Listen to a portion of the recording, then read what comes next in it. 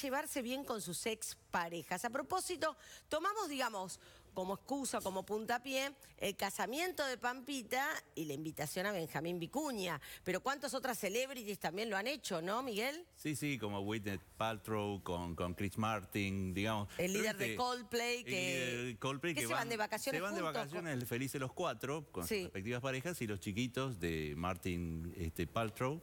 Y bueno, ellos hablan de la separación consciente, hablan de una cuestión, les dolió mucho eso, el tiempo de separación, ese proceso agónico que siempre hay previo a una separación, pero luego, sanadas ciertas heridas, no hace falta andar odiando a la gente que fue parte de la Exacto, propia Exacto, totalmente. Todo este gancho que hacemos con la gente famosa es para hablar de nosotros los no famosos, hablar de la gente no famosa que tiene esa costumbre de odiar al ex.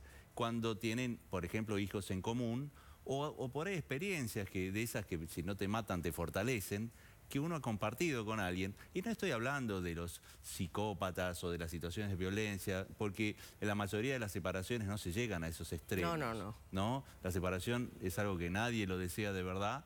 Este, y es muy doloroso y a veces no responde a situaciones de, violencia, sino de otras cosas. En ese tipo de situaciones es importante apuntar a la mayor este, concordia con el ex y entender por qué uno estuvo enganchado con esa persona, no solamente echarle la culpa de todo, eh, hacer algo de autocrítica, todo como para quedar en términos tales que los chicos no se vean desgarrados, porque esta columnita de hoy está dedicada en realidad a los chicos. Y bueno, porque se formó una familia. El de, exactamente, adentro de ellos está en el corazón los dos unidos y cuando ven ese desgarro de los odios, de agarrarlos a ellos como intermedio, para mandarles misiles al otro, Exacto. los celos, los rencores, eso hace mucho daño. Entonces a mí me parece linda la actitud de estos famosos porque ofrecen un horizonte de cierta concordia, no hace falta eh, tener eh, amor y, este, ser meloso al respecto.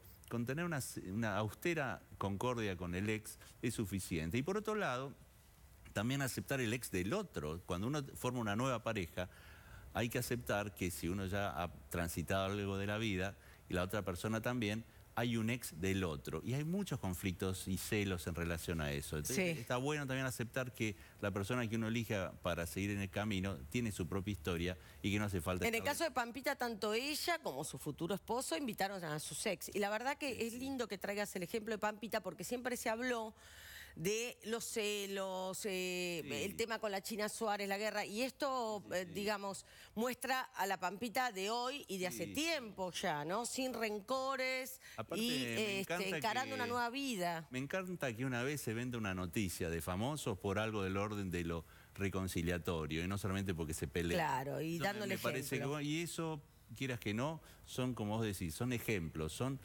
una idea de lo posible, porque hay generaciones enteras que están creciendo, creyendo que es imposible la reconciliación en un sentido más de, cortesía, al menos entre ambos, y creen que la guerra es lo natural.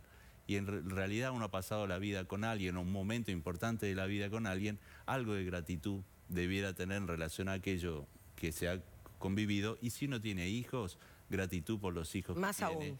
Más aún. Entonces, bueno, bienvenida sea estas, estas noticias de gente cool, canchera y glamorosa que se reconcilia en un sentido de armonía. Y también eso es noticia ¿Eh? y, es prensa. está buenísimo eso, así que Muy bien. enhorabuena a los ex. Gracias. Por favor.